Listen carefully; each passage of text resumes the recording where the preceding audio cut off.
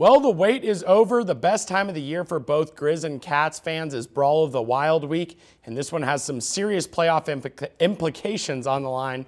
The Grizz lead the all-time series with 72 wins, 39 losses, and five ties, but Montana State hasn't been too shabby lately, taking the last two wins for their first back-to-back -back Brawl of the Wild win since 2002 and 2003. Montana and Montana State coming to this Week 12 matchup with both teams sitting at 4 and 3 in the Big Sky and 6 and 4 overall. And basically, whoever loses can count themselves out of the playoffs. However, both Hauck and Choate say their minds are on this week.